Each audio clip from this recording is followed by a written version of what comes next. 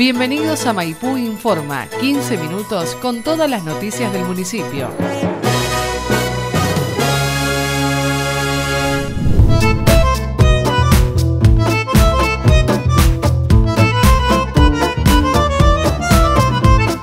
Buenos días a todos. Este, sí, estamos, eh, comenzamos en realidad hace 48 horas con la instalación del trailer sanitario. Estamos con el equipo del Centro de Atención Primaria, estamos con la coordinadora eh, la señora Mariela Lora y con la administrativa Julieta Peláez. Eh, ellas son parte de este equipo que van a estar de 9 de la mañana a 17 horas hasta el 5 de octubre, este, pensando sobre todo y afirmando la idea que siempre la prevención es, eh, dentro de los pilares más importantes para la salud, por lo tanto estamos trabajando sobre, sobre las vacunas. en este tráiler este, contamos con todas las vacunas, este, mm, eh, vacuna antidetánica, vacuna distérica, eh, todas las vacunas de calendario y eh, la vacuna antigripal. Eh, muchas veces he sabido y es comentado que la gente habla sobre, la vacuna antigripal porque en un tiempo determinado, hace un tiempo atrás, sobre todo antes del 2010, eh, se decía habitualmente que había una época determinada para vacunar, mm, cuando más temprano mejor, este, sobre todo entre marzo y abril o mayo. Y bueno, hoy en día fue cambiando toda la, la conducta epidemiológica y sabemos que el virus de la gripe circula todo el año, eh, lo hemos tenido en propia experiencia unos años atrás nosotros cuando tuvimos un brote entre noviembre y diciembre. Este, por lo tanto, invitamos a toda la gente que no se haya aplicado la vacuna antigripal, que puede acercarse al tráiler y ponerse la vacuna antigripal. Este, la persona que se debe vacunar es como siempre, este, las personas con factores de riesgo, eh, los mayores de 65, eh, las embarazadas, los menores de, dos años este, y todos aquellos con factores de riesgo, diabéticos, eh, enfermedad pulmonar, obstructiva crónica, em, diabetes. Las chicas eh, tienen particularmente en el mismo tráiler el manual donde están todas las indicaciones eh, y a la par ella con la experiencia de todo haber trabajado en las campañas anteriores tienen la formación y la información para darle a la gente con respecto a la vacunación. Después sobre el calendario, invitamos a aquella gente que normalmente nosotros tenemos un tiempo determinado en el que se vacuna en el hospital, que es nuestro sistema de vacunación habitual, en el servicio de vacunación. Eh, con esta campaña lo que hacemos es darle más horario a disposición de la gente, que puedan acercarse y eh, de esa manera ampliar el servicio para que la gente pueda acercarse y vacunarse. Eh, no quiero dejar de olvidar, este, dejar de olvidarme también que en realidad Hoy están presentes eh, Mariela y Julieta, pero van a colaborar todos los administrativos eh, de todos los centros de atención primaria de salud. Esto con respecto a vacunación. Y después también me gustaría este, hacia adelante informarme a la gente que estamos programando una campaña de, HIV de, sobre el testeo, que también va a seguir a continuación de esta, y de otra enfermedad de transmisión sexual que eh, estamos gestionando el test rápido de sífilis, eh, por lo tanto el tráiler a continuación de esto más adelante va a estar también en nuestra plaza eh, para todos aquellos que sean gustosos y que quieran este, saber este, realizarse un testeo con respecto a enfermedad de transmisión sexual, también este, eh, próximamente vamos a estar con el tráiler eh, en, esta sala, en esta plaza, como siempre, haciendo ese otro, ese otro evento. Sin duda lo que creo que la gente está informada es con respecto a que es uno de los pilares más importantes y que está totalmente en evidencia eh, sobre el impacto que tiene sobre la salud cuando la sociedad está mejor vacunada. Eso no tengo ninguna duda.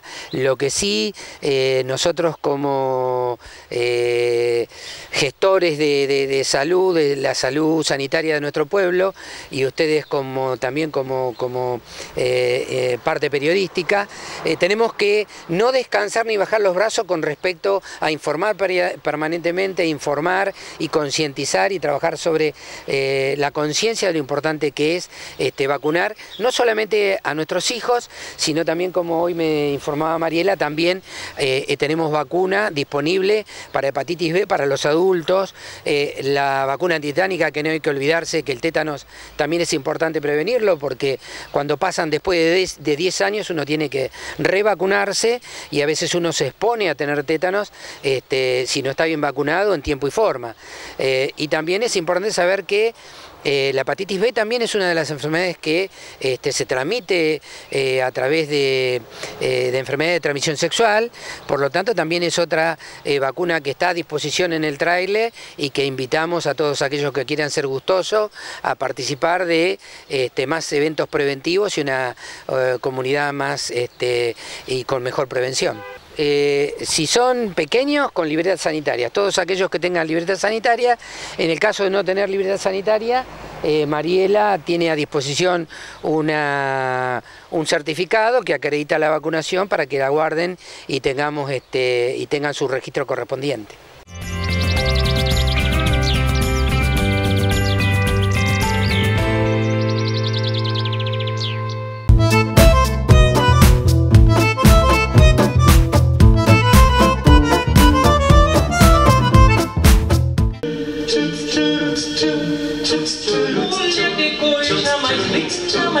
de graça era caminito que vem que passa, no doce balanço su camino do mar. O caminho do mar, de solitarema, você vai lançando e mais que poema, e coisa mais linda que eu já vi passar.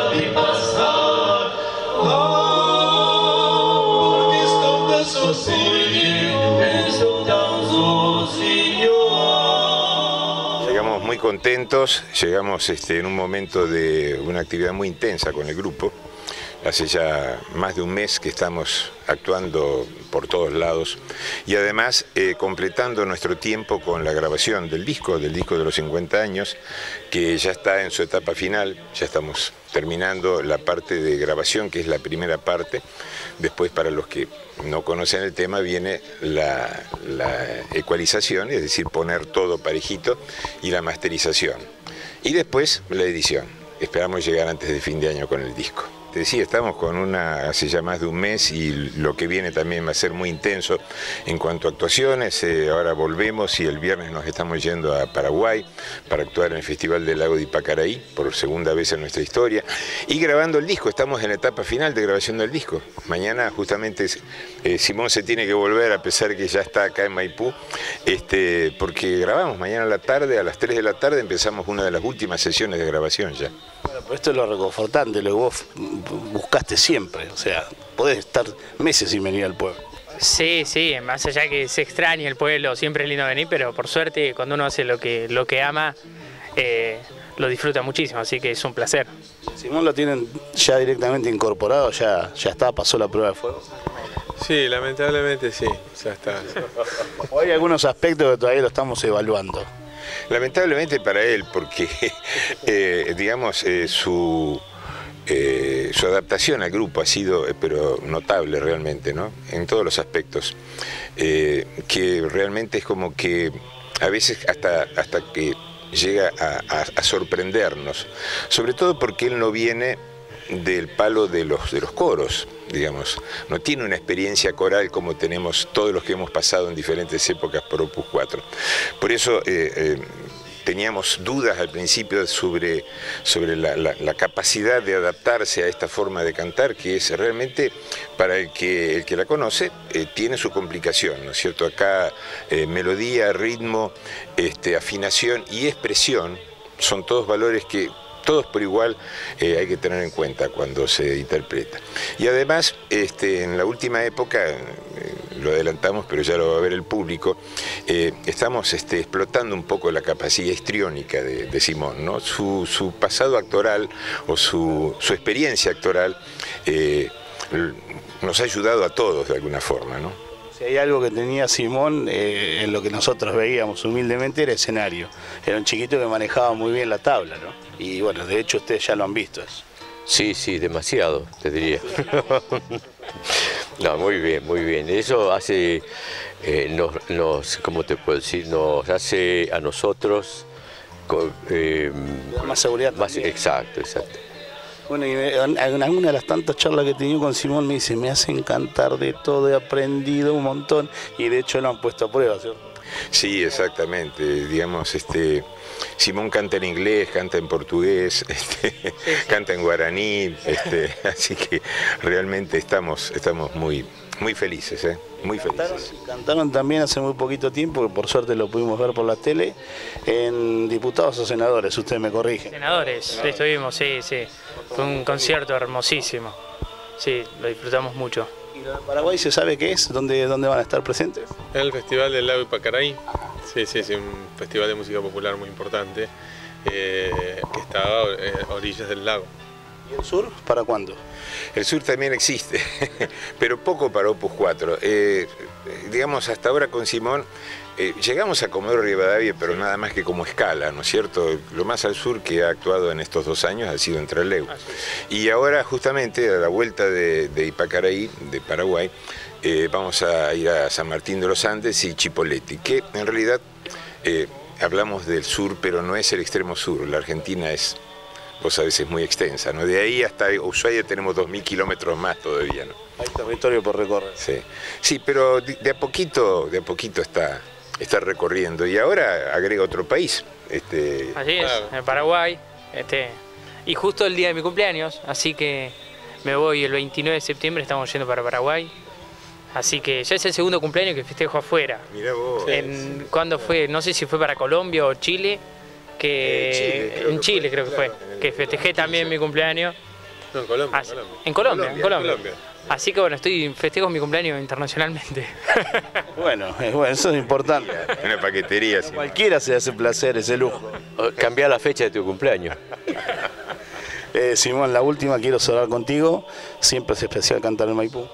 Sí, sí, para mí es, es, distinto, es algo, es como en casa y, y a veces la responsabilidad es mayor porque ya el público me conoce, entonces bueno, uno quiere venir y siempre dar lo mejor y bueno, y eso hace que, que la responsabilidad sea más grande y el placer también más grande. Seguramente. cuántas chicas van a estar ahí abajo, me imagino, ¿no? Sí, lo sabemos, lo sabemos. Nosotros hemos este, aumentado nuestros amigos en el Facebook con gente de Maipú. Las amigas de, Simón se quieren congraciarse con nosotros, esas amigas nuestras también. Las hermanas, que son como mil. Chicos, que tengan un buen show, una buena estadía en Maipú y bueno, gracias por venir nuevamente. Bueno, muchas gracias, eh, muchas gracias a ustedes. Llevo mi sombra alerta sobre la